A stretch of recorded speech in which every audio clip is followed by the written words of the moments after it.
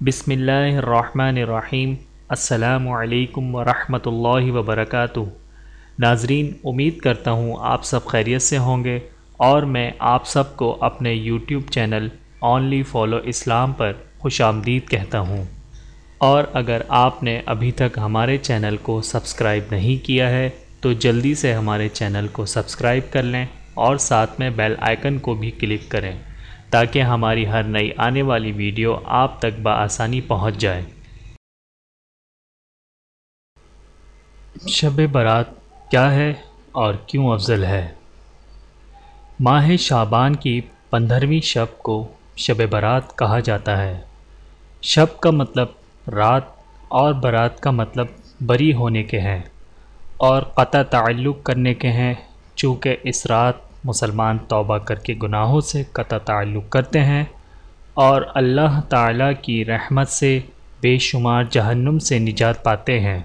اس لیے اس رات کو شب برات کہتے ہیں۔ ام المؤمنین، حضرت عائشہ صدیقہ رضی اللہ تعالی عنہ ارشاد فرماتی ہیں کہ ایک رات میں نے حضور اکرم صلی اللہ علیہ وآلہ وسلم کو اپنے بستر پر نہ پایا تو میں حضور اکرم صلی اللہ علیہ وآلہ وسلم کی تلاش میں نکلی تو میں نے آپ صلی اللہ علیہ وآلہ وسلم کو جنت البقی میں پایا کہ آسمان کی طرف حضور اکرم صلی اللہ علیہ وآلہ وسلم نے سر اٹھایا ہوا تھا۔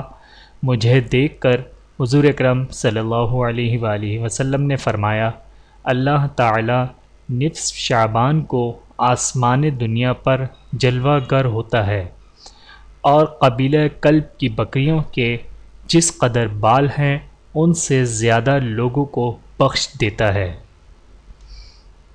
تو دوستو، اس ویڈیو میں اتنا ہی۔ اگر آپ کو یہ ویڈیو پسند آئی ہے، تو اس ویڈیو کو لائک کر کے ہماری حوصلہ افزائی کریں اور اس ویڈیو کو اپنے دوستوں کے ساتھ شیئر کریں۔ تاکہ اور دوسرے لوگ بھی آپ کی طرح اس ویڈیو سے فائدہ اٹھا سکیں اور کمنٹس کر کے ہمیں اپنی رائے سے آگاہ کریں۔ اللہ تعالیٰ آپ کو جزائے خیر عطا فرمائے۔ آمین۔ اپنا اور اپنے پیاروں کا بہت زیادہ خیال رکھیے گا اور مجھے دعاؤں میں یاد رکھیے گا۔ ٹیک کیئر اللہ حافظ۔